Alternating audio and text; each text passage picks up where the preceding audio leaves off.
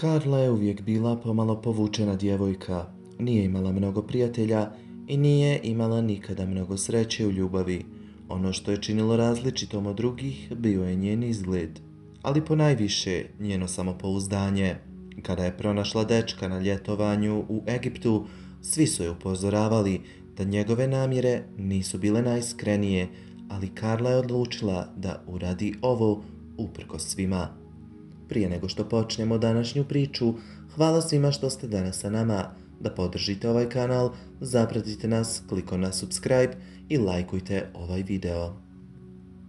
Karla je odrasla u malom njemačkom gradu nedaleko od Hanovera. Njen otac bio je vlasnik lokalnog restorana u gradu, a njena majka bila je učiteljica u osnovnoj školi. Ona je po svemu trebala imati sretno djetinstvo, ali uvijek je postojalo ono nešto što je nedostajalo u životu. Ljubav, pažnja od strane suprotnog spola. Dok su njene drugarice iz škole već od 13. ili 14. godine imale dečke, vodile bi se za ruke i izlazile na spojeve, Karla to nikada nije doživjela. Nijedan dečko iz škole nije bio zaljubljen u nju. Ona je već od malih nogu imala problema sa kilažom, a odrastajući taj problem se nije mnogo promijenio. Ona je svoju utjehu pronalazila u hrani, u slatkišima i u noćnim pohodima u kuhinju. Zbog svega toga, njeno samopouzdanje nije bilo baš najbolje. Karla je završila školu i u međuvremenu pronašla sebi stan. Ona je radila u banci, iako ponekad monoton i dosadan posao, ona ga je ipak voljela. Zarada je bila dobra i ona je bila sretna sa svojim uspjehom u životu. U svemu, osim u jednoj stvari. Ona nije imala sreće u ljubavi. Veze koje je imala u prošlosti bile su kratke i nikada nije osjetila onu strast i emociju o kojoj su pričale njene prijateljice. Jednog dana njena prijateljica Tina koja je radila sa njom u banci vratila se sa ljetovanja u Egiptu. Bila je vesela, euforična i jako dobro raspoložena. Kada je Karla upitala razlog za njeno dobro raspoloženje, ona je otkrila da je uživala na svom godišnjem odmoru, ali to nije bio jedini razlog. Šetajući na bazaru jedan dan, svratila u jednu radnju za suvenirima i upoznala Ahmeda, vlasnika radnje. Nikada nije očekivala da će upravo tamo upoznati ljubav svog života. Kako su ušli u priču, on je pozvao na večeru taj dan i od tada pa do kraja svog godišnjeg odmora ona je svaku noć provodila sa njim, šta više, uskoro je planirala ponovo da ode tamo. Tina je primijetila da je njena prijateljica bila lošeg raspoloženja, pa je došla na ideju da je pozove sa sobom na put u Egipat. To je prelijepa zemlja, nećeš se pokajati, govorila je ona. Karla se dvoumila iz početka, ali je ipak odlučila da pođe sa njom. Njemačka je tokom zimskog perioda bila veoma hladna i kišovita, pa bi odlazak u sunčani Egipat bila idealna promjena, otkriva Karla. Kada su dvije prijateljice stigle u Egipat, Karla je bila oduševljena pustinskim pejzažima i prelijepom obalom na Crvenom moru. Smjestile su se u jedan hotel i uživale svakodnevno na plaži. Upravo tada Karli se desilo ono o čemu je mogla samo da sanja. Muškarac koji je radio kao spasilac na plaži joj je prišao. Prvobitno je pitao odakle smo došle, uputio je komplimente meni i mojoj prijateljici, ali od samog početka bio je zainteresovan da upozna mene. Otvoreno je flertovao sa mnom. Moja prijateljica me ohrabrivala i govorila da izađem sa njim, iako se ispočetka nisam osjećala baš opušteno za tako nešto. Njegovo ime bilo je Abbas i bio je mlađi od mene nekoliko godina i bio je veoma zgodan, otkrila je Karla. Ona je odlučila da se upusti u tu avanturu i da izađe sa njim tu noć. Abbas je razgovarao sa njom i otkrio kako živi u Egiptu sa svojom porodicom, da voli da se bavi sportom, najviše plivanjem. A zatim je pričao o tradicijama i o načinu života u Egiptu. Njoj se najviše dopalo kako su Egipćani kao narod dosta otvoreniji i ljubazniji od Njemaca. Njegov šarm, flertovanje i džentlmenski maniri naveli su je da se zaljubi nakon samo nekoliko dana. Ostatak svog godišnjeg odmora Karla je provodila svaku noć uz svog novog dečka. Bio je to godišnji odmor kao iz bajke. Imala sam osjećaj da sam u nekom filmu. Duge šetnje ispunjene pričom i flertom po ulicama Egipta uz topli ljetni vjetar i miris mora.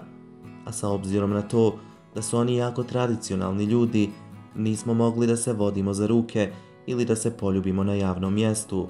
Morali smo to krijući da radimo i sve je bilo poput neke avanture, neke tajne romance, otkriva ona i dodaje.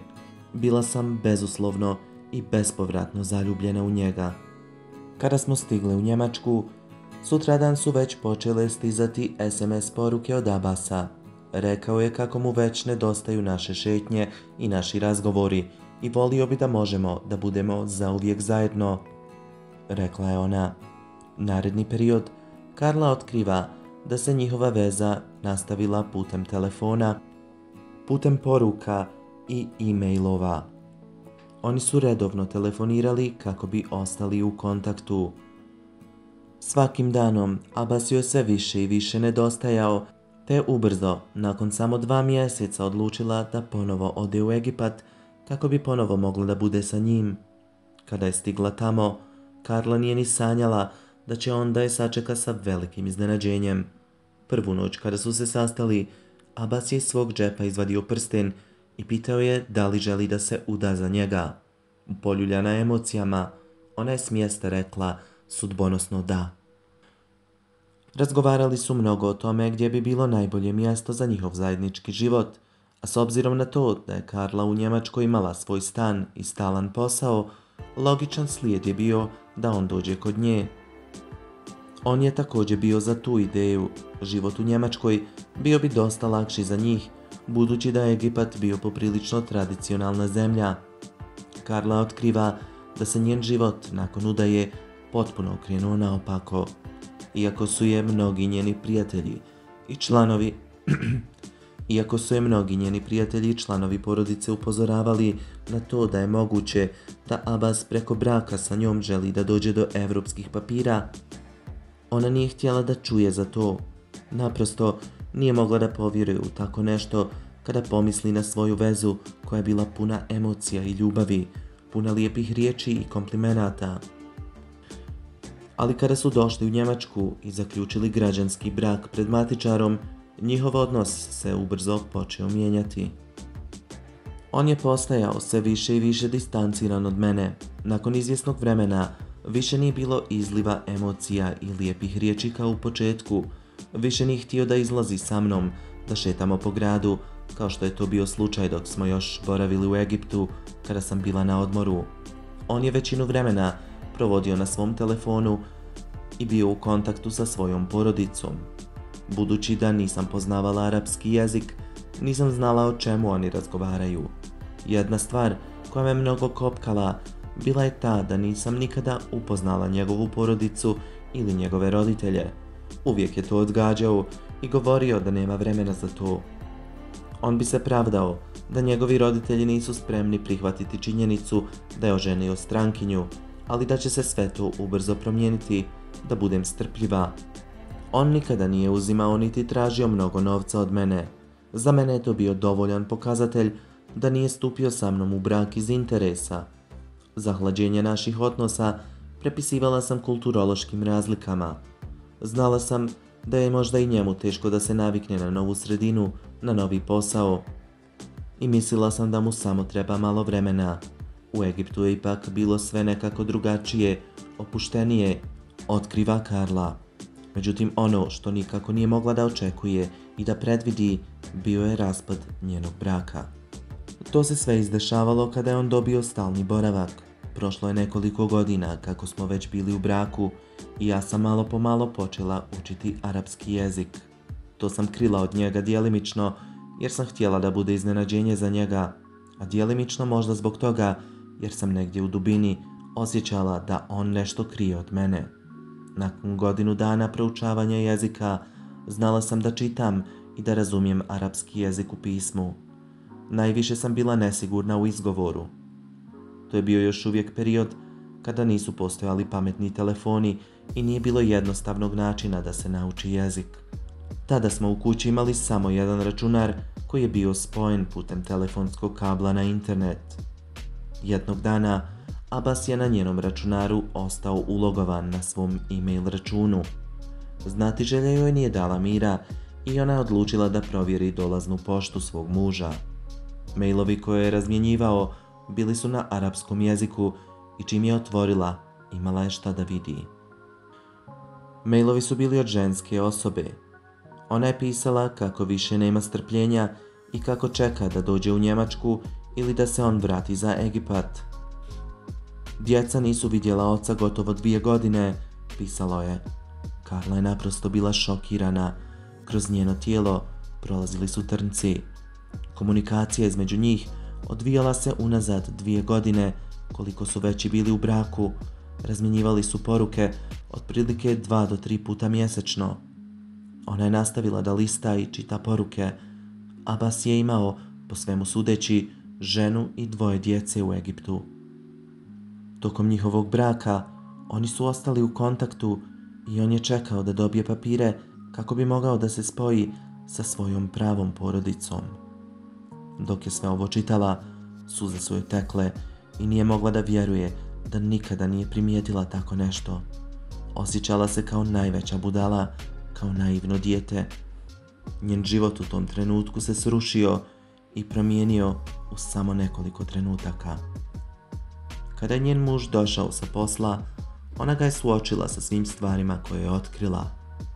Abbas je bio takav, nikada ne bi priznao svoje greške niti svoje laži. On me počeo ubjeđivati u to da su to mailovi koje je pisao za svog rođaka, jer on nema internet kod kuće, pa mu je tako činio usluge i pisao mailove za njega. Govorio je da ne znam dobro arapski i da sam pogrešno shvatala neke stvari.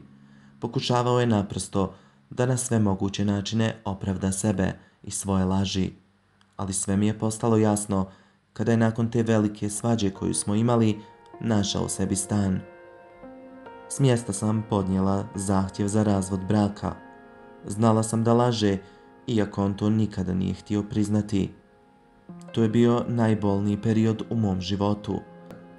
Bez obzira koliko se on pravdao i lagao, on je pokazao da je cijeli naš brak bila jedna velika laž, kada me je bez upozorenja napustio i odselio iz našeg zajedničkog stana. Nakon razvoda, Karla otkriva da je potpuno izgubila kontakt sa svojim bivšim mužem. On je promijenio svoj broj telefona i odselio u drugi grad. Prošlo je nekoliko godina i tada, u tom periodu su društvene mreže postajale sve popularnije. To je bilo doba Facebooka. Ja sam na taj trend dobro zakasnila. Svi moji prijatelji i kolege sa posla već su imali profile na Facebooku kada sam 2009. godine odlučila da ga i ja otvorim. Iz želje sam naravno pretraživala svoje stare prijatelje i poznanike. Kao i svako, kopkalo me i zanimalo šta rade moji bivši partneri. Ukucala sam Abasovo ime i prezime jer me zanimalo gdje je sada on i da li je pronašao neku drugu ženu, kako sada živi. I naravno, kada sam pronašla njegov profil, imala sam šta da vidim. Na svom profilu imao je zajedničku fotografiju sa drugom ženskom osobom. Listajući kroz njegove fotografije, nije se moglo mnogo toga zaključiti u njegovom životu. Živio i dalje u Njemačkoj, ali jedna fotografija bila je kao nož koji je prošao kroz njeno srce. On nije mnogo toga dijelio na svom profilu, nije bilo mnogo fotografija iz privatnog života, ali jedna fotografija posebno je povrijedila Karlu.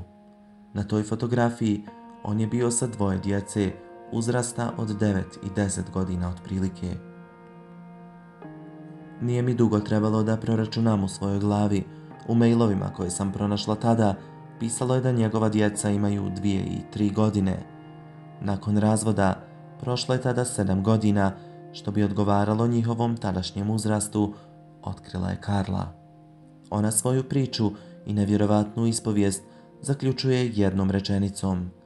Istina uvijek izađe na vidjelo koliko god neko pokušava da je sakrije. Ona je ipak nakon svog prvog braka ponovo pronašla ljubav. Izgubila sam povjerenje u ljude i trebalo je mnogo vremena da ponovo počnem nekome da vjerujem. Da nije bilo toga i tog životnog iskustva, možda sada ne bi bila sa svojim mužem sa kojim danas čekam svoje prvo dijete. Sve u životu se dešava sa razlogom, zaključuje Karla.